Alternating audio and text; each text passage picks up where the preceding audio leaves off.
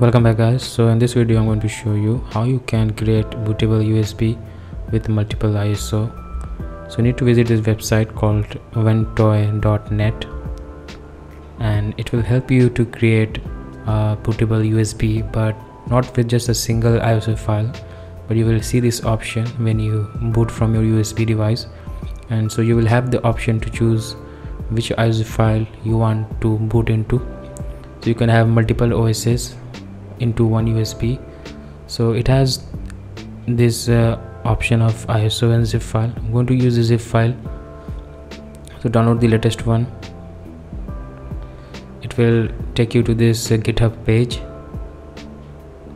And we need to download the from the asset side we need to download the zip folder the zip folder.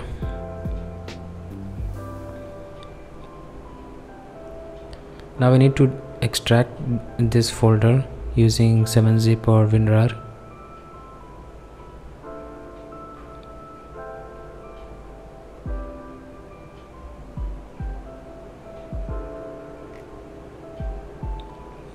once the extraction is done you will see this folder and inside it you will see the exe file. Just launch the program so you need to have your usb drive plugged in and it will automatically detect the usb and will ask you to uh, to use it. So now we need to change the partition scheme according to our system. So to find out search for partition. Open up this program.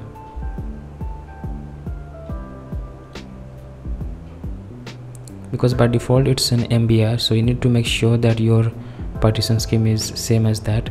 So right click on disk 0 and under the volume tab you will see your partition scheme. So we need to select the same partition. So mine is gpt so i'm going to select gpt so make sure you do this and then after that uh, you can hit on the install. We need not to interfere with other uh, options. Just install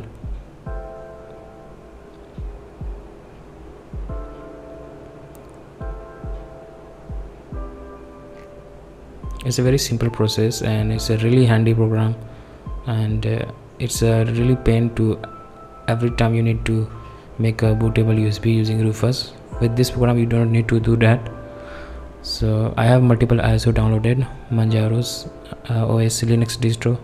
So i have four iso so you just need to simply copy it in the usb you have uh, plugged in. Just copy paste the iso files so it makes the process so easy. You do not need to use rufus or any other uh, bootable usb program.